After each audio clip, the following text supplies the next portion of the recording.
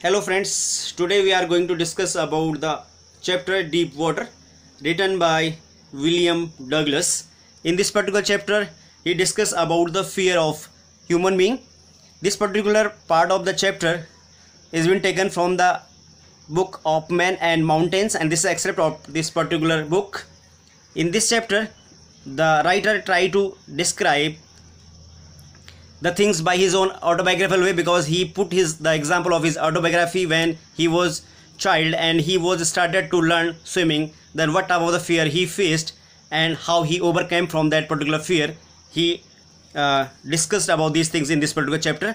And this is a very inspirational and motivational chapter for the all students or all human being how can we overcome from our fear? Because fear is a very common factor in every human life.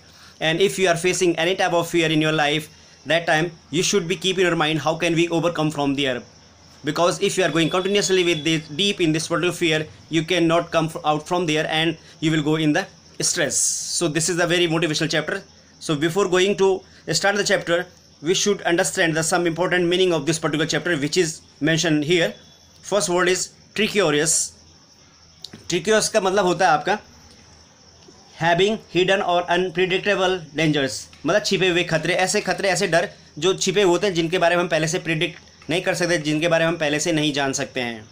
उसके बाद है miss adventure miss adventure का मतलब होता है कोई दुर्घटना, कोई घट, दुर्घटना जो घट जाती है, उसको हम कह देते हैं मिस एडवेंचर उसके बाद है subdued my pride subdued my pride का मतलब होता है आपका ओवरकम माई प्राइड मतलब अपने डर पे काबू सॉरी अपने जो अभिमान है, जो स्वाभिमान है, स्वाभिमान तो थोड़ा सेल्फ स्टीम अलग वर्ड हो गया, अभिमान, गर्व जिसको आप कहते हैं, अपने ऊपर गर्व करना, उस पर कंट्रोल करना या उसको नियंत्रण में रखना।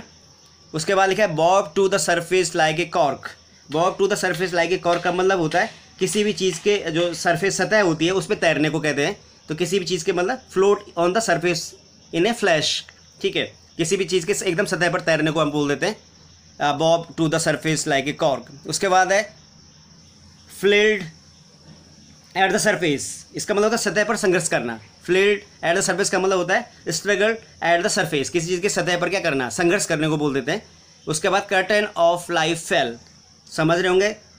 सेंस ऑफ़ डेथ मतलब इसका मतलब कर्टन ऑफ़ लाइफ मतलब जीवन का जो पर्दा है वो गिर जाने का मतलब क्या आदमी की मृत्यु हो जाना। उसके बाद fishing for landlocked salmon ठीक है fishing for land Lord salmon का मतलब होता है fishing salmon which lives in a part of the lake which is almost और completely surrounded by land salmon एक मछली होती है, जो उसको पकड़ना, जो प्राकृतिक जलाशयों में रहती है। उसके बाद back at forth and forth across the pool back and forth across the pool का मतलब होता है, किसी भी पूल के, किसी भी स्विमिंग पूल के, किसी भी तालाब के आर पार या आगे पीछे जाने को कह देते हैं। क्या? Back and the forth across the pool मतलब to and fro across the pool ठीक है मतलब किसी चीज़ के आगे या पीछे जाने को कह देते हैं। अब आगे चलते हैं। चैप्टर को शुरू करते हुए। अब वो क्या कह रहा है? It had happened when I was ten और इलेवन ईयर्स ओल्ड ये जो घटना है, जिसमें जो राइटर है, वो अपने डर की बात डिस्कस कर रहे हैं, अपने ऑटोबायोग्राफी के थ्रू और बताने की कोशिश कर रहे हैं कि हम अपने डर पे कैसे काबू कर सकते हैं और कैसे अपने डर से बाहर निकल सकते हैं। तो उसकी शुरुआत कर रहे हैं इट हैड हैपन ये घटना घटी वैन आई वॉज़ टेन और इलेवन ईयर्स ओल्ड जब मैं लगभग दस या ग्यारह साल का रहूँगा तब की ये घटना है। I had decided to learn to swim और मैंने निश्चित निर्णय लिया था कि मैं क्या करूँगा? स्विमिंग को सीखूँगा। दियर वॉज़ ए पूल वहाँ पर एक पूल था, एक तरण ताल जिसको आप कहते थे, एक तालाब था, एक तरण ताल कह सकते स्विमिंग पूल आपने वर्ड सुना होगा। स्विमिंग पूल था। At the Y M C ये जगह का नाम बताया जा रहा है। वाई एम सी ए में एक तरण ताल था, एक स्विमिंग पूल था। ठीक है इन याकीमा याकीमा में, ठीक है, याकीमा एक नदी है, ठीक है, यहाँ पर इसको आप थोड़ी देर बाद देखेंगे। That offered exactly the opportunity जिसने मुझे क्या किया? ये अवसर दिया, कौन सा अवसर दिया? तैराकी सीखने का एक अवसर दिया। The Yakima river was treacherous. ठीक है बता दिया उन्होंने। याकिमा जो नदी है, वो क्या है? बहुत ट्रिक्योरस। अभी वर्ड जो हमने डिस्कस किया था मतलब जो ये याकिमा नदी, इसमें बहुत ऐसे खतरे छिपे हुए हैं जो दिखते नहीं है, क्योंकि नदी का जो पानी होता है, वो क्या है? रहा होता है तो उसके अंदर हमें दिख नहीं पाता कि इसके अंदर क्या क्या डेंजर्स हैं। ठीक है क्या क्या इसमें मुश्किलें हमें आ सकती हैं। जैसे भंवर हो सकते हैं, पत्थर हो सकते हैं। ठीक है उसके कहीं पर गहराई ज़्यादा हो सकती है, कहीं पर कम हो सकती है। ये सब तरह के खतरे की बात कहीं पे कुछ और भी चीज़ें हो सकती हैं। Mother continually warned against it और जो मेरी माँ है, वो मुझे लगातार क्या करती थी? वॉर्न करती थी मतलब मुझे सचेत करती थी, मुझे चेतावनी देती थी अगेंस्ट इट मतलब इस याकीमा नदी के बारे में कि बेटा, उस याकीमा नदी में क्या है? बहुत ज़्यादा खतरे हैं जो दिखते नहीं हैं, उसके बारे में हमेशा मुझे बताती रहती थी। And kept fresh in my mind ठीक है, और इसको हमेशा मेरे दिमाग में क्या रखती थी? ताज़ा रखती थी। किसको? ये कि याकेमा नदी में क्या क्या खतरे हैं? इस डर को हमेशा मेरे दिमाग में ताज़ा रखती थी। The detail of each drowning in the river कि डिटेल मतलब प्रत्येक चीज़ के बारे में बहुत ढंग से बताती थी कि जो जो लोग उसमें डूबे हैं, उस नदी में डूबे हैं, उनके बारे में बताती रहती थी कि बेटा एक समय ऐसा हुआ तो उसमें एक आदमी डूब गया था, उस, उसके बाद एक आदमी और ऐसा डूबा, फिर इसकी ऐसा, इस तरह से उसकी, उसमें क्या हो गया, उसने प्रॉब्लम का सामना किया तो वो जो उसमें दुर्घटनाएँ घटित हुई हैं, जो जो घटनाएँ घटित हुई हैं उस याकिमा नदी में, उसके बारे में मेरी मम्मी लगी, लगातार मुझे सचेत करती रहती थी। But the Y M C pool was safe लेकिन जो वाई एम से पूल था, स्विमिंग पूल था, वो क्या था? सुरक्षित था, क्योंकि पूल क्या होता है? थोड़ा सुरक्षित होता है, जो आबादी के बीच में होता है, वहाँ पर इंस्ट्रक्टर होते हैं, लोग होते हैं, और वहाँ पर डूबने का खतरा थोड़ा कम होता है, काफ़ी कम होता है, नदी की अपेक्षा। इट वॉज़ ओनली टू और three feet deep at the shallow end ठीक है मतलब किसी जो सेलो का मतलब किसी जो उभरे हुए जो क्षेत्र हैं, कुछ जो क्षेत्र थे, वहाँ पर क्या था? ये इट वॉज़ ओनली टू और थ्री फीट डीप मतलब डीप है ना, गहरा। ये जो तरण ताल था, ये दो तीन फीट की क्या था? गहरा था, ठीक है, उसके एक एरिया में स्विमिंग पूल का जो एक क्षेत्र था, ठीक है, वो क्या था? वो कम गहरा हिस्सा था सेलो का मतलब कम गहरा हिस्सा था and while it was nine feet deep at the other तो इसका मतलब एक कोने में जो तरण ताल था, ये जो स्विमिंग पूल था, क्या था? आपका दो तीन फीट गहरा था, लेकिन दूसरे हिस्से पे ये कितना फीट गहरा था? कम से कम नौ फीट गहरा था। The drop was gradual drop मतलब जो उसकी गहराई थी, वो क्या था? ग्रेजुअल थी मतलब क्रमिक थी। मतलब लगातार उसकी गहराई क्या होती? बढ़ती जाती थी। मतलब अगर हम दो तीन फीट से शुरू करेंगे तो धीरे धीरे चार, पाँच छः सात, आठ, नौ फीट तक लगातार इस तरह क्रमिक रूप से गहरा होता चला जाता था। I got a pair of water wings I got मैंने एक, क्या लिया? है वाटर विंग क्या लिया? है पेयर मतलब एक जोड़ा लिया है वाटर विंग्स का मतलब जो पानी में तैरने के क्या होते हैं? आपके पतवार होती हैं, वो खरीदी। And went to the pool और मैं कहाँ चला गया? उस पूल में चला गया, उस स्विमिंग पूल में चला गया। I hated to walk I waited to walk का मतलब? मैं क्या करता था? अब क्या कर? आई हेटेड टू वॉक ये हमें देख रहा होगा आपको। आई हेटेड टू वॉक मतलब मैं क्या करता था? घृणा करता था। Necked in to it necked का मतलब होता है नंगा। इन टू इट इसके अंदर, किसके अंदर? तरणताल के अंदर। And so my skinny legs और अपनी क्या? पतली जो पैर हैं, टांगे हैं, उनको दिखाने में। मतलब मुझे ये अच्छा नहीं लगता था कि मैं अपनी पतली टांगे दिखाऊँ लोगों को। इसलिए वो क्या करते थे, इस बात से थोड़ा घृणा करते थे।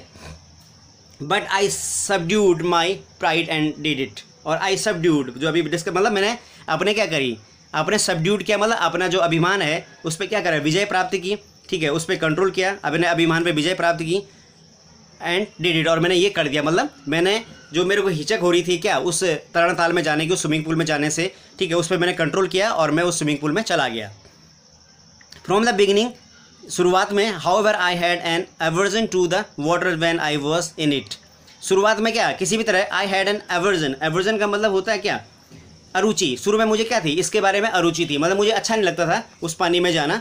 ठीक है to water than when I was it जब भी मैं इस पानी में होता था तो मुझे इसमें शुरू में क्या होता इंटरेस्ट नहीं आता था, मज़ा नहीं आता था. दिस स्टार्टेड अब ये जो अरुचि है, जो ये इंटरेस्ट की कमी, ये कहाँ से शुरू हुई और इसका प्रारंभ कहाँ से हुआ? दिस स्टार्टेड यह शुरू हुआ व्हेन आई वॉज़ थ्री और फोर ईयर ओल्ड जब मैं तीन तीन या चार साल का रहा हूँगा इसकी शुरुआत तब से हुई। एंड फादर टुक मी मेरे पापा ने मुझे to the beach of California मेरे पापा मुझे कहाँ ले गए? बीच पे ले गए कैलिफ़ोर्निया के। मतलब जो बीच का मतलब होता है समुद्र का किनारा। बीच का मतलब होता है समुद्र का किनारा। और नदी के किनारे को बोलते हैं बैंक रिवर बैंक नदी के किनारे को बैंक बोल देते हैं और समुद्र किनारे को बीच बोलते हैं या समुद्र किनारे को शोर भी बोलते हैं। शी शोर सुना होगा आपने। तो सी शोर तो बीच समुद्र किनारा तो कैलिफ़ोर्निया के जो सम, के किनारे जो समुद्र है उसके जो बीच है किनारों पर उस वहाँ मेरे पापा मुझे ले गए। He and I stood together in the surf ठीक है और वहाँ क्या हुआ? मेरे पापा और मैं सर्फ पे क्या हो गया? हमने सर्फिंग की। ठीक है सर्फिंग का मतलब समुद्री फेन को बोलते हैं फॉर्म को बोलते हैं क्या? सर्फ तो वहाँ पर मुझे ले गए वहाँ हम खड़े होते थे। अब यहाँ पे थोड़ा ध्यान दीजिएगा grammatically he and I I and he नहीं लिखा गया है। ही एंड आई क्यों लिखा गया? क्योंकि जब भी आप किसी को प्रोनाउंस करेंगे तो सबसे पहले आप किसको करते हैं? यूज़ करेंगे किसको? दो, तीन, एक। मतलब इसका फॉर्मूला था, पहले सेकंड पर्सन को प्रोनाउंस किया जाता है, फिर उसके बाद थर्ड पर्सन को प्रोनाउंस किया जाता है लास्ट में फ़र्स्ट पर्सन को प्रोनाउंस किया जाता है। प्रोनाउंस किया जाता है। तो सबसे पहले आप थर्ड पर्सन को करेंगे, अगर यहाँ पे यू होता तो सबसे पहले यू लिखा जाता। ठीक है, फिर ही आता, फिर आई आता। तो सबसे पहले थर्ड पर्सन को यूज़ करते हैं, उसके बाद सेकेंड पर्सन को यूज़ करते हैं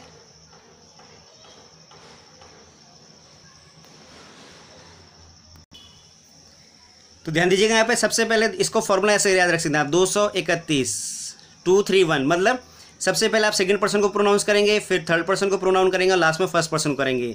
मतलब सबसे पहले यहाँ पे यू आएगा, उसके बाद क्या आएगा? ही शी इट या दे आएगा, और उसके बाद लास्ट में क्या आएगा? आई आएगा। इसलिए यहाँ पर क्योंकि कौन है? थर्ड पर्सन और फ़र्स्ट पर्सन है, इसलिए पहले क्या गया? थर्ड पर्सन को लिखा गया, और उसके बाद फ़र्स्ट पर्सन को लिखा गया। अगर यहाँ पे यू भी होता तो सबसे पहले यू आता है फिर ही आता लास्ट में आई आता है। तो ही एंड आई लिखा गया आई एंड ही नहीं लिखा गया। इसको ध्यान दीजिएगा, ये ग्रामेटिकल चीज़ है कि जब आप किसी प्रोनाउन को प्रोनाउंस करते हैं तो सबसे पहले आप सेकेंड पर्सन को प्रोनाउंस करते हैं, फिर थर्ड पर्सन को करते हैं और लास्ट में फ़र्स्ट पर्सन को करते हैं। ठीक है, इसलिए ध्यान दीजिएगा कि लिखने का भी क्रम होता है। पहले ही एंड आई लिखा गया आई एंड ही गलत है। तो he and I stood together मैं सर्फ में क्या होगा? जो उसका फोम था, जो समुद्री फेन थी, उसमें मैं और मेरे पापा खड़े हुए I hang on to him और मैं उनके पर लटक गया। किस पे? अपने पापा के पर लटक गया। Yet the waves knocked me down and swept over me yet the waves waves मतलब जो लहरें थी, उन्होंने नॉक मतलब मुझे धक्का दिया और मुझे क्या कर दिया? नीचे गिरा दिया एंड स्वेप्ट ओवर मी और मेरे ऊपर से आगे निकल गई। मुझे मेरे ऊपर से बह करके क्या निकल गई? वो जो लहरें थी, आगे निकल गई। I was buried in water और बरीड का मतलब होता है दफन होना। मैं वो जो बरीड क्या था? उस पानी में क्या हो गया? दफन हो गया। माई ब्रीथ वॉज़ गॉन और मेरी साँसें चली गई मतलब मेरी साँसें अटक गई, रुक गई। आई वॉज़ फ्राइटेंड मैं घबरा गया। फ्राइटेंड का मतलब होता है घबराना। मैं घबरा गया, डर गया, भयभीत हो गया। फादर लाफ्ट और मेरे पापा मुझ पर हंस रहे थे, क्योंकि मैं छोटा बच्चा था, इसलिए मुझे डर ज़्यादा लगा, लेकिन मेरे पापा एक्सपीरियंस थे, उनको पता था कि इससे मेरे बच्चे को कुछ नहीं होगा, इसलिए वो उस बात पर हंस रहे थे, एक जोक के रूप में ले रहे थे। But there was terror in my heart at the overpowering force of the waves लेकिन उस दिन से मेरे मन में क्या हुआ? टेरर का मतलब डर भाई आतंक। बैठ गया था हार्ट का मतलब दिल में। मेरे दिल में उस दिन से क्या हो गया? एक डर बैठ गया था कि जो overpowering force of waves जो लहरें होती हैं, उनका जो अत्यधिक उनमें शक्ति होती है, ताकत होती है, उसका डर मेरे मन में बैठ गया था कि जब लहरें आती हैं तो किसी आदमी को गिरा सकते हैं और उसके ऊपर से आगे जा सकते हैं और आदमी उनमें दफन होके क्या हो सकता है, उसका दम घुट सकता है और वो मर सकता है। My introduction to the Y M C मेरा जो परिचय है वाई एम सी ए से स्विमिंग पूल जो वाई एम सी ए का स्विमिंग पूल उससे जो मेरा परिचय है revived unpleasant memories and street street child fears. तो ये जो स्विमिंग पूल को जैसे मैंने देखा तो मुझे रिवाइव हुआ मतलब मुझे क्या हुआ अपनी जो यादें थी, पुरानी यादें थी रिवाइव्ड अनप्लीजेंट अनप्लीजेंट मतलब जो बहुत अच्छी खुशी न दे, जो आपको क्या न दे, अच्छी क्या नहीं दे वाइब्स न दे मतलब ना थोड़ा सा आपको चिंतित करने वाली, बुरा लगने वाली, क्या करे? मेमोरीज मतलब यादें, बुरी यादें जिनको आप कह सकते हैं। तो वो जो वाई का पूल था स्विमिंग पूल था, उसने मेरी क्या करी? मेरी जो पुरानी बुरी यादें थी, उनको क्या किया? ताज़ा कर दिया। स्ट्रीट का मतलब क्या होता है? स्ट्रीट का मतलब होता है आपका सक्रिय होना मतलब ताज़ा कर देना चाइल्ड फियर चाइल्ड मतलब बचपन का फियर मैंने डर। तो ये जो वाइम का पूल था, इसने मेरे बचपन के डर को क्या कर दिया? ताज़ा कर दिया। But in a little while लेकिन थोड़ी देर में while I gather O confidence जैसे गैदर का मतलब इकट्ठा करना कॉन्फिडेंस साहस को, जैसे मैंने साहस को क्या किया? इकट्ठा किया। I paddled with my new water wings तो मैंने अपने नए जो पैडल थे, ठीक है, उनको क्या किया?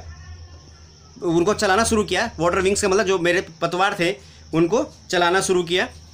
Watching the other boy and trying to learn by aping them watching the other boys मतलब मैंने अन्य बच्चों को क्या देखना शुरू किया और ट्राई मतलब के प्रयास करना शुरू किया to learn by aping them उनका एपिंग का मतलब देखा देखी करना मतलब किसी की नकल करना। तो मैंने अन्य बच्चों की नकल करते हुए अपने पतवार को भी चलाना शुरू कर दिया। I this did this two two और थ्री टाइम्स मैंने ऐसा दो तीन बार किया। ऑन डिफरेंट डेज़ अलग अलग दिनों में दो तीन अलग अलग दिनों में मैंने उन बच्चों की कॉपी करनी शुरू की। एंड जो was just beginning to feel at ease in the water when the best adventure happen और फिर मैंने उस पूल में क्या करना, जब मैंने दो तीन दिन उन बच्चों की कॉपी की तो मुझे क्या करना ईज का मतलब आराम। मुझे थोड़ा आराम महसूस होने लग गया मतलब मुझे अच्छा महसूस होने लग गया। मुझे थोड़ा कंफर्ट फील होने लगा। ठीक है इन द वाटर उस पानी में, उस स्विमिंग पूल के पानी में when this this adventure happen जहाँ मेरे साथ ये दुर्घटना घटित हुई थी। अब वो दुर्घटना आगे बताएँगे कि उनके साथ क्या हुआ था। तो जिस स्विमिंग पूल में उनके साथ दुर्घटना घटित हुई थी, शुरुआती दौर में जब वो सीख रहे थे वहाँ पर तो वहाँ पर वो अपनी पतवार के साथ जाते थे और उसमें उसमें तैरते थे और धीरे धीरे उनको वहाँ क्या आराम महसूस होने लग गया था और अच्छा फील होना शुरू हो गया था। I went to the pool when no one else was there मैं उस पूल में तब जाता था जब वहाँ कोई नहीं होता था। द प्लेस वॉज़ क्वाइट जो प्लास जो स्थान था वो क्या रहता था? बहुत क्वाइट रहता था मतलब चुपचाप था। द वाटर वॉज़ स्टील शांत, चुपचाप से मतलब यहाँ पे शांत से मतलब वहाँ का जो माहौल था बहुत शांत रहता था। द वाटर वॉज़ स्टील पानी रुका रहता था एंड द टाइल्ड टाइल्ड का मतलब जो टाइल्स लगाते हैं हम लोग, ठीक है and tiled bottom was as white and clean as bath tub जैसे बाथ टब का जो सरफेस होता है, नीचे के बहुत चमकीला होता है, वैसे ही उसकी जो टाइल्स थी, वो बहुत चमकदार थी। किसकी? उस स्विमिंग पूल की, चमकती थी। I was timid about going in alone timid का मतलब डरना टिमिट का मतलब डरना। मैं डरता था अबाउट गोइंग इन एलोन उस स्विमिंग पूल में अकेले जाने से। So I sat on the side of the pool to wait for others तो इसलिए मैं उस स्विमिंग पूल के क्या करता था? साइड किनारे पे क्या रहता था? खड़ा रहता था और वेट का इंतज़ार करता था अदर्स मतलब अन्य का। तो मैं उस अन्य लोगों का इंतज़ार करता था वहाँ पर, उस उस पूल के किनारे पे बैठ कर कि कोई और आएगा और तब तो मैं इस पूल में जाऊँगा तैरने के लिए। I had not been there long when it came a big bruiser of boy अब मुझे वहाँ पर क्या हुआ? I had not been there long मुझे बहुत देर नहीं हुई थी उस स्विमिंग पूल के किनारे पे बैठे हुए when in came a big bruiser of boys वहाँ पर क्या है? एक ब्रूजर का मतलब टफ मतलब थोड़ा सा रफ टफ बॉडी वाला लड़का, अच्छी सा फिजिक जिसका होता है, उसको कहते हैं ब्रूजर तो एक वहाँ पर लड़का आया जिसका कदकाठी बहुत अच्छी थी, उसको मैं डिस्क्राइब करेंगे आगे. प्रॉबली एटीन ईयर्स ओल्ड वो लड़का लगभग अठारह साल का रहा होगा. He had a thick hair उसके जो घने बाल थे ऑन ही चेस्ट उसकी छाती में, उसकी छाती में काफ़ी घने बाल थे.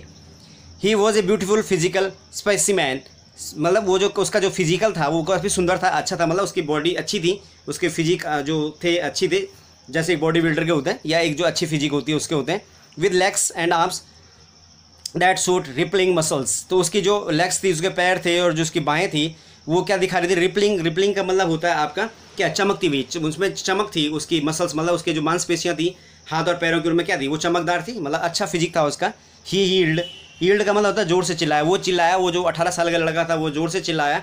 हाई स्किनी हाई दुबले पतले लड़के। स्किनी मतलब जो दुबला पतला सा होगा। How had you like to be ducked मतलब तुम कैसा डूबना पसंद करोगे? मतलब तुम इस नद, इस जो स्विमिंग पूल इसमें कैसे डूबना पसंद करोगे या कैसे जाना पसंद करोगे? यहाँ पे सेंस ये भी हो सकता है। With that he picked me up और ऐसा बोल करके उसने मुझे पकड़ा। अप और ऊपर की तरफ़ एंड टॉस टॉस का मतलब उछालना। जैसे आप क्रिकेट मैच में देखते होंगे सिक्का उछालते हैं तो उसको क्या कहते हैं? टॉस करना। तो वैसे उसने मुझे क्या करा? पकड़ा और ऊपर उछाला into the deep end और उसके बाद कहाँ गिरा दिया? जहाँ डीप एंड था उसका, जहाँ उसका क्या गहरा हिस्सा था। क्योंकि पहले भी राइटर ने बताया कि इसके दो हिस्से थे सैलो और डीप सैलो दो तीन फीट गहरा था और जो डीप हिस्सा था वो कितना था? नौ फीट गहरा था। तो इन्होंने जो लड़का था, अठारह साल का, इसने मुझे वो गहरे वाले हिस्से में गिरा, फेंक दिया उछाल करके। I land landed in sitting position और मैं जैसे बैठा था, उसी पोजिशन में, उस स्विमिंग पूल में गिरा। स्वेलोड वाटर और मैंने क्या किया? स्वेलो मतलब निगलना। तो मैंने क्या किया? पानी को निकल क्योंकि जब मैं अचानक गिरूँगा तो क्या होगा? मेरे मुँह में पानी जाएगा? तो मेरे मुँह में अंदर पानी गया and went at once to the bottom और एक झटके में, मैं क्या हो गया? बॉटम पे पहुँच गया। आई वॉज़ फ्राइटेंड मैं भयभीत हो गया बट नॉट येट लेकिन अभी frightened out of my wits जो डर था, वो मेरे, उसने मेरे जो विट्स था मतलब जो मेरा दिमाग था, जो मेरे निर्णय लेने की क्षमता थी, उस पर अभी काबू नहीं किया था। मतलब मैं निर्णय ले पा रहा था, मैं सोच पा रहा था। ऑन द वे डाउन जब मैं नीचे जा रहा था, उस बॉटम की तरफ़ जा रहा था पानी में। आई प्लान तो मैंने तैयारी की प्लान किया, एक योजना बनाई। When my feet hit the bottom की, जब मेरे पैर इसके बॉटम मतलब इसके जो सबसे तलहटी है, किसकी? स्विमिंग पूल की, उसको छुएँगे I would make a big jump तो मैं वहाँ से क्या करूँगी? बड़ा सा जंप मारूँगा, ऊपर से जरा कूदूँगा। कम टू द सरफेस ऊपर आने के लिए, ऊपर सरफेस पाने के लिए मैं वहाँ नीचे कूदूँगा। मतलब लाई फ्लैट ऑन इट मैं सीधा सीधा लाई मतलब सीधे लेट जाऊँगा। And paddle to the edge of the pool और पैडल करूँगा मतलब हाथ पैर चलाऊँगा और एज एज मतलब किनारा ऑफ़ द पूल पूल के किनारे पे आ जाऊँगा। ये मैंने योजना बनाई। कब? जब उसने मुझे उस तरण ताल में फेंका तो जब मैं नीचे की तरफ़ जा रहा था तलेटी की तरफ़ तो मैंने अपने मन में ये योजना बनाई। It seemed a long way down लेकिन ये मुझे काफ़ी लंबा प्रतीत हो रहा था जब मैं नीचे जा रहा था। Those nine feet work more like ninety तो वो जो नाव फीट थे, वो मुझे किससे ज़्यादा लगे? नब्बे फीट से ज़्यादा गहरे लगे। मतलब मुझे ये थोड़ा आपके डर को भी दिखाता है। And before I touch bottom my lungs were ready to burst इससे पहले कि मैं क्या करता, उसकी जो तलहटी है, उसको छूता बॉटम को छूता टच करता माई लंग्स जो मेरे फेफड़े थे वर रेडी टू ब्रस्ट वो फटने को तैयार थे। मतलब मैं बहुत ज़्यादा डर गया था, घबरा गया था, ठीक है। But when my feet hit bottom लेकिन जैसे ही मेरे पैरों ने क्या किया बॉटम को उसकी तलहटी को छुआ I summon all my strength and made what I thought was a great spring upwards I summoned मतलब समंड का मतलब कह सकते हैं आप क्या? आ, अपने जो साहस है उसको क्या करना? इकट्ठा करना शक्ति को बटोरना। आई समंड माई स्ट्रेंथ मैंने अब अपनी शक्ति को बटोरा। And may made what I thought और वो करने का प्रयास की जो मैं सोचा था क्या सोचा था कि मैं उसमें जाऊँगा और फिर ऊपर आके पैडल करके किनारे आ जाऊँगा। Was a great spring upwards और मैं क्या करूँगा? स्प्रिंग करूँगा कूदूँगा ऊपर की तरफ़ और किनारे पर आ जाऊँगा। ठीक है? I imagine I would bob to the surface like a cork और मैंने सोचा था कि मैं क्या करूँगा? Bob to surface like a cork मतलब एक क्षण में ही सतह पर आ जाऊँगा। जैसे उसने प्लान किया था कि मैं नीचे जाऊँगा, फिर तलेटी को छूँगा और झटके से ऊपर आके अपना वो सीधा लेट जाऊँगा और फिर पैडल करते हुए तलेटी के किनारे पर आ जाऊँगा। उस सरफेस के किनारे पर आ जाऊँगा पूल के किनारे पर आ जाऊँगा बहुत आसानी से। स्टिट के बावजूद आई केम अप स्लोली जैसा मैंने सोचा था वैसा नहीं, उसके उल्टा हुआ। मैं ऊपर कैसा है, बहुत धीमे धीमे आया। I open my eyes and saw nothing मैंने अपनी आँखें खोली, लेकिन मुझे कुछ नहीं दिखाई दिया। तो मुझे क्या कह रहे हैं? वहाँ पर मुझे कुछ नहीं दिखा केवल क्या दिखाई दिया? पानी दिखाई दिया। Water that had a dirty yellow tinge to it और जो पानी था, उसमें क्या था? वो थोड़ा गंदा था, उसका जो कलर था, वो कैसा था? येलो था। कैसा था? पीलापन लिए हुए था। और उसके बाद क्या था? उसमें जो आई ग्रू पैनिक लिए। और उससे क्या होगा? जो वो पहलापन लिए हुआ था, उससे क्या हो गया? मेरे मेरे अंदर जो डर था, वो पैनिक करने लगा मैं थोड़ा ज़्यादा और घबराने लगा।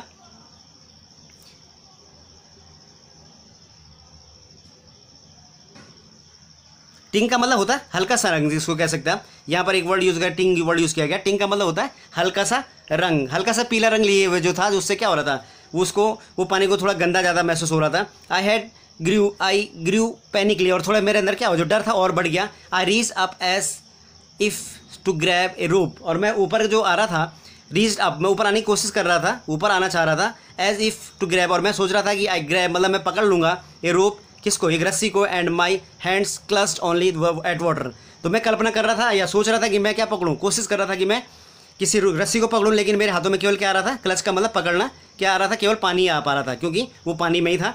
आई वॉज़ सफोकेटिंग मुझे, मेरा दम घुट रहा था।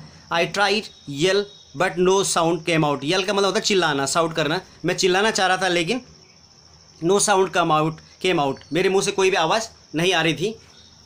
Then my eyes and nose came out of the water तो मेरी उसके बाद मेरी आँखें और क्या आई? नोज़ उस पानी से बाहर आई बट नॉट माई माउथ लेकिन मेरा मुँह उस पानी से बाहर नहीं आया।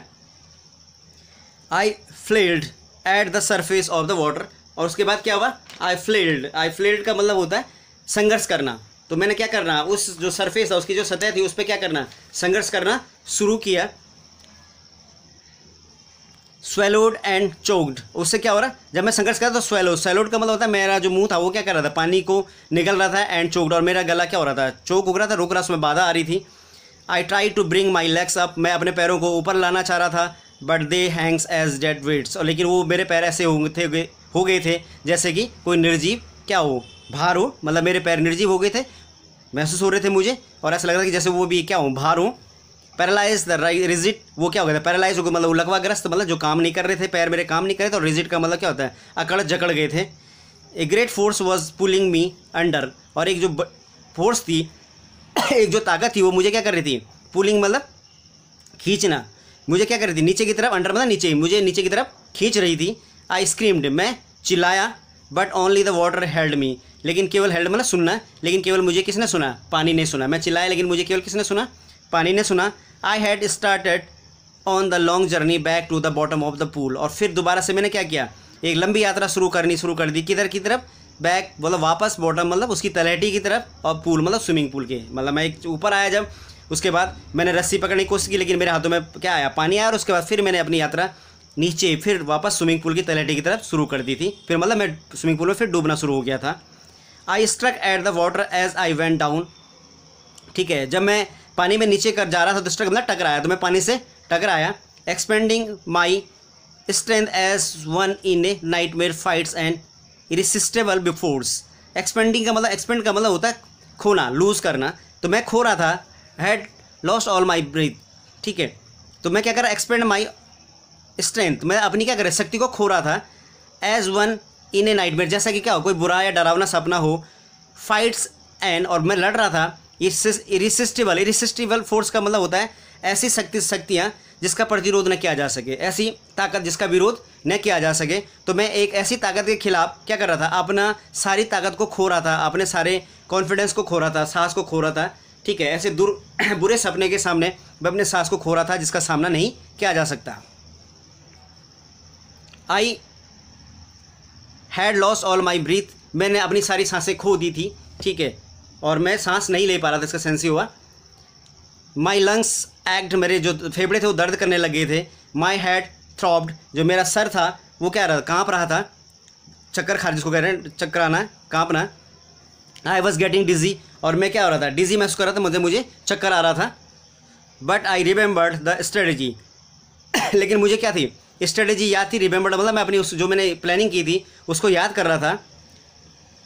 I would spring from the bottom of the pool and come like a cork to the surface वो स्ट्रेटेजी क्या थी मेरी? कि आई वुड स्प्रिंग मतलब मैं कूदूँगा फ्रॉम द बॉटम उसके तलहटी पर, किसके? स्विमिंग पूल की तलहटी पर ऑफ़ द पूल पूल की and came like a cork to the surface और कॉर्क की भांति मैं क्या जाऊँगा? उसके ऊपरी सतह पर आ जाऊँगा। ये मेरी स्ट्रेटेजी थी जिसको मैं बार बार याद कर रहा था। I would lie flat on the water मैं सीधा लेट जाऊँगा पानी के ऊपर। Strike out with my arms ठीक है, और अपने हाथों से क्या करूँगा? स्ट्राइक करूँगा हाथ, पैर हाथ पैर, हाथ चलाऊँगा। एंड थ्रेस माई लेग्स और अपने पैरों को भी चलाऊँगा। जैसे तैरने की जो पोजिशन होती है, जिसमें हम हाथ पैर दोनों को चलाते हैं। Then I would get to the edge मैं उसके किनारे पर आ जाऊँगा। Of the pool and be save उस पूल के, जो स्विमिंग पूल उसके किनारे पर आ जाऊँगा और मैं सुरक्षित हो जाऊँगा। ऐसी मेरी स्ट्रेटेजी थी, जो मेरे दिमाग में लगातार चल रही थी। आई वेंट डाउन फिर मैं नीचे गया। डाउन फिर दोबारा से एंडलेसली और वो जो नीचे की तरफ़ की यात्रा थी, वो कभी ख़त्म ही नहीं हो रही थी। आई ओपन माई आइज़ मैंने अपनी आँखें खोली। Nothing but water with a yellow glow तो मेरे को कुछ नहीं दिखा, केवल एक जो पीला सा ग्लो था, चमक थी, वही केवल मुझे नज़र आ रही थी। डार्क वाटर गहरा पानी था, जिसमें कुछ दिखाई नहीं दे रहा था। That one could not see through जिसके आर पार नहीं देखा जा सकता था। एंड देन सीर और उसके बाद शीर शीर का मतलब होता है आपका क्या है? केवल जिसमें और कुछ आपको नज़र ना आए। स्टार्क टेरर सीज्ड मी तो जो स्टार्क टेरर था मेरे मन में, ठीक है मतलब कड़ा मतलब जो बड़ा, जो डर था मतलब जो डर था वो क्या हो गया? कड़ा मतलब कठोर सा डर, मुश्किल सा डर, ऐसा डर जो दूर नहीं हो पाए। तो मेरे अंदर क्या हो गया था? केवल और केवल वो जो बड़ा सा डर था, वो ही क्या हो रहा था? आतंक था, वो क्या हो गया था? मुझे उसने घेर लिया था, उसने मुझे जकड़ लिया था। Terror that knows no understanding मतलब ऐसा डर जिसके, जिसमें कोई समझ नहीं होती है और जो कोई समझ भी नहीं सकता। ऐसा डर जो मैंने महसूस किया, उसको कोई समझ नहीं सकता, कब तक नहीं समझ सकता। Terror that knows no control जिसके ऊपर कि आपका क्या होता है, कोई नियंत्रण नहीं होता है। Terror that no one can understand इस डर को कोई महसूस नहीं कर सकता who has not experience it जब तक कि उसने उसका सामना ना किया हो। तो कोई भी इस तरह के डर को तब तक नहीं समझ सकता है, जब तक उसने उस डर का सामना न किया हो। I was shrinking under water I was shrinking shrinking का मतलब होता है आपका बहुत ज़ोर से चीखना, चिल्लाना। तो मैं उस पानी के नीचे क्या कर रहा था? ज़ोर ज़ोर से चिल्ला रहा था। आई वॉज़ पैरालाइज मेरे को लकवा हो गया था मतलब मेरे हाथ पैर काम नहीं कर रहे थे अंडर वाटर पानी के नीचे। Stiff rigid with fear stiff rigid stiff का मतलब क्या होता है आपका? नॉट मूविंग फ्रीली मतलब मेरे हाथ पैर आसानी से फ्रीली स्वतंत्र रूप से काम नहीं कर रहे थे। रिजिट का मतलब जकड़ जाना था तो मेरे हाथ पैर आराम से इजीली काम नहीं कर पा रहे थे। ठीक है, वो जकड़ गए थे। किसकी वजह से? डर की वजह से। Even the screams in my throat were frozen जो मेरी चिल्लाहट थी, जो मैं चिल्लाना चाह रहा था, वो भी क्या होती? मेरे गले में क्या हो गई थी? फ्रीज हो गई थी मतलब जम गई थी। तो मेरा जो चिल्लाना था, वो भी मेरे गले में जम गया था। तो जो मेरा डर था, वो मेरे पे ज़्यादा हावी गया था। Only my heart and pounding in my head जो मेरा दिल था, वो पाउंडिंग का पाउंडिंग का मतलब होता है आपका धड़कना। इन माई माइंड मेरे दिमाग में धड़क रहा था। मतलब मुझे केवल अपने दिमाग जो दिल की धड़कने थी, वही मेरे दिमाग में सुनाई दे रही थी। Said that I was still alive और वो मुझे कह रही थी कि तू अभी ज़िंदा है या तुम अभी ज़िंदा हो। And then in the midst of the terror came a touch of reason और अचानक क्या हुआ? इस टेरर के बीच में मेरे दिमाग में एक रीज़न आए, कारण आया आई मस्ट रिमेंबर कि मुझे ज़रूर याद रखना चाहिए to jump when I hit the bottom कि जब भी मैं इस स्विमिंग पूल की तलहटी में जाऊँगा तो मुझे ये ज़रूर याद रखना चाहिए कि मुझे क्या करना है? जंप करना है, कूदना है, इसको मत भूलना। ये मैं अपने आप से कह रहा था। एट लास्ट आई फेल्ट अंत में मैंने महसूस किया द टाइल्स अंडर मी अपने पैरों के नीचे मैंने टाइल्स महसूस किया। मतलब मेरे पैर टाइल्स पे क्या लग रहे थे टच कर रहे थे? My toes reach out as if to grasp them और मेरे जो पैर थे उनको क्या करने की कोशिश कर रहे थे? मेरे जो पैर की उंगलियाँ थी, जो पैर थे, वो इसको जगड़ने की कोशिश कर रहे थे उस टाइल्स को, उस तलहटी को। I jumped with everything I had और मैं कूदा जितना मेरे में शक्ति थी, मैंने अपनी पूरी ताकत से उस तलहटी को टच करने के बाद ऊपर की तरफ़ कूदा। But the jump made no difference लेकिन उस जंप ने कोई भी अंतर नहीं किया मतलब स्थिति कुछ नहीं बदली। The water was still around me अभी भी मेरे चारों तरफ़ पानी था। I look looked for ropes मैं किसके लिए देख रहा था? मैं रस्सी के लिए देख रहा था। लेडरस मैं सीढ़ियों के लिए देख रहा था। वाटर विंग्स जो पानी के लिए पतवार होती हैं, वो उनको लिए देख रहा नथिंग बट वाटर लेकिन मुझे कुछ नज़र नहीं आया। केवल क्या नज़र आ रहा था? पानी। I mass of yellow water held me ठीक है, और आई जो मुझे घेर लिया था, ठीक है, वो चार, मेरी तरफ़ से चारों तरफ़ क्या था? केवल पानी ही था। ठीक है, और उसने मुझे चारों तरफ़ से घेर लिया था। और मुझे केवल किसका मास नज़र आ रहा था? किसका, केवल क्या नज़र आ रहा था चारों तरफ़? पानी का ही मास नज़र आ रहा था। Stark terror took an even deeper hold on me और जो वो गहरा, बड़ा डर था स्टार का मतलब बड़ा डर जो होता है, ठीक है, आतंक था, वो मेरे टुक एन इवन डीपर और गहरा हो गया था मेरे मन में। तो वो जो डर था, वो मेरे मन में और गहरा हो गया था like a great charge of electricity जैसे कि किसी बिजली का बड़ा सा झटका हो।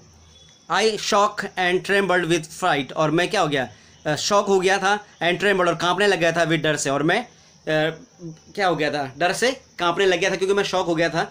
ठीक है, जैसे मुझे ऐसा झटका लगा, जैसे बिजली का झटका लगा हो। माई आर्म्स वुडेंट मूव मेरे जो हाथ थे, वो मूव नहीं हो रहे थे। माई लेग्स वुडेंट मूव मेरे पैर भी नहीं चल पा रहे थे। I try to call for help मैं मदद के लिए चिल्लाना चाह रहा था। टू कॉल फॉर मदर अपनी माँ को चिल्लाना चाहता था। नथिंग हैपन लेकिन कुछ नहीं हुआ। एंड देन स्ट्रेंजली लेकिन अचानक अजीब सा देर वॉज़ फ़्लाइट वहाँ एक अचानक से एक मुझे क्या दिए लाइट दिखाई दी. I was coming out of the awful yellow water और मैं किससे बाहर निकल रहा हूँ? अब मुझे महसूस हो रहा कि मैं जो, वो ऑफ़ फुल है मतलब बहुत बुरा, डरावना सा, पीला पानी, उससे मैं क्या आ रहा हूँ? बाहर आ रहा हूँ. At least my eyes were at least my eyes were my nose was almost out too और ऑलमोस्ट मतलब लगभग मेरे जो आँखें थी और मेरी जो नाक थी, वो पानी से बाहर थी. Then I started down to a third time और फिर मैं तीसरी बार पानी में नीचे की तरफ़ जाना शुरू हुआ। मतलब मैं दूसरी बार ऊपर आया, मेरी जो आँखें और नाक थी वो पानी से बाहर थी, लेकिन फिर तीसरी बार मैं पानी के नीचे और उस या उस पूल में डूबना शुरू हुआ। आई सक्ड फॉर एयर मैं क्या करना चाहता था? एयर को चूसना चाहता था सक मैंने चूसना बट गॉड वाटर लेकिन मैं क्या चूस रहा था? पानी चूस पा रहा था। The yellowish light was going out और जो पीला लाइट थी वो दूर दूर जा रही थी। देन ऑल एफर्ट सीज्ड मेरे सारे जो प्रयास थे, वो सीज हो रहे थे। ठीक है, वो बंद हो रहे थे। ठीक है, या वो जिसको कह सकते काम करना उन्होंने बंद कर दिया था। आई रिलैक्सड मैं अब आराम महसूस कर रहा था। Even my legs felt limp जो मेरे पैर थे, वो भी क्या हो गए थे? क्षतिग्रस्त हो गए थे। लिम्प का मतलब क्षतिग्रस्त होना। मतलब उन्होंने भी काम करना बंद कर दिया था। And I blackness swept over my brain और मेरी आँखों के या मेरे सर में या मेरे दिमाग में क्या छाना शुरू हो गया था? अंधेरा, कालापन या धुंधलापन छाना शुरू हो गया था। It wipe out my fear और इस धुंधलेपन ने, इस कालेपन ने, इस ब्लैकनेस से मेरे वाइप मतलब पहुँचना अलग कर देना। डियर उस इस डर, इस चीज़ ने मेरे डर को मुझसे दूर कर दिया था। इट वाइप्ड आउट टेरर इसने मेरे जो मन में भय था उसको भी दूर कर दिया था। There was no more panic अब मेरे मन में कोई पैनिक नहीं थी, कोई जल्दबाजी नहीं थी, कोई घबराहट नहीं थी। It was quiet and peaceful ये चुपचाप और शांत था। Nothing to be afraid of अब मुझे किसी चीज़ से भी क्या नहीं लग रहा था? डर नहीं लग रहा था। Nothing to be afraid of मुझे किसी से डर नहीं this is no this is nice ही अच्छा था टू बी ड्रोजी अब मुझे नींद आ रही थी टू गो टू स्लीप मैं अब सोना चाहता था नो नीड टू जंप अब मुझे कूदने की कोई ज़रूरत नहीं थी टू ट्राई टू जंप अब मुझे अब कूदने की भी ज़रूरत नहीं थी, बहुत ज़्यादा कूदने की ज़रूरत नहीं थी. It is nice to be carried gently अब ये मुझे बहुत, ये जो पानी था मुझे बहुत जेंटली बहुत प्यार से ले जा रहा था to float along in space किसकी तरफ़? आसमान की तरफ़. स्पेस के मतलब अंतरिक्ष की तरफ़ मुझे ले जा रहा था, बहुत प्यार से tender arms around me tender का मतलब लविंग जो होती है, ठीक है? काइंड एंड लविंग जो जो हाथ टेंडर आर्म्स मतलब प्यार करने वाले जो हाथ हैं, जो मेरे चारों तरफ़ थे, ठीक है? जैसे क्या होता है टेंडर आर्म्स लाए के मतलब जैसे किसके हाथ होते हैं, माँ के हाथ होते हैं, जो क्या होते हैं, बहुत काइंड और लविंग होते हैं, उनका स्पर्श। Now I must go to sleep और अब मुझे क्या होता है, अब मुझे सोना था और मुझे नींद आ रही थी। आई क्रॉस टू ओब्लिवियन अब मैंने क्या कर दिया था क्रॉस कर दिया था ओब्लिवियन का मतलब विस्मृति को। अब मतलब मेरी विस्मृति, मेरे में हावी हो रही थी and the curtain of life fell और जो जीवन का पर्दा था वो अब गिर रहा था, या मतलब मैं मरने जा रहा था। द नेक्स्ट आई रिमेंबर लेकिन उसके ठीक बाद मुझे जो याद आया रिमेंबर याद आया, वो I was lying on a stomach beside the pool मैं क्या था? पेट के बल पूल के किनारे पे, पेट के बल लेटा हुआ था। वो मीटिंग उल्टी कर रहा था। The chap of the threw me in the sing वो जो चैप, जो लड़का था जिसने मुझे कहाँ फेंका था उस स्विमिंग पूल में फेंका था, वो कह रहा था but I was only fooling मतलब मैं तो मज़ाक कर रहा था। सम वन सेट किसी ने कहा द किड नियरली डाइड ये जो बच्चा था, ये तो मरने ही वाला था मतलब इसने बाल बाल बचा है। बी ऑल राइट नाउ लेकिन अब सब ठीक है। Let's carry him to the locker room अब इसको हम कहाँ ले जाते हैं? लॉकर रूम में ले जाते हैं। लॉकर रूम का मतलब जहाँ पर जो स्विमिंग पूल में तैरने आने वाले लोग होते हैं, वो अपने कपड़ों को रखते हैं और चेंज करते हैं। इसके सेकेंड पार्ट को हम अगले वीडियो में करेंगे। Thank you very much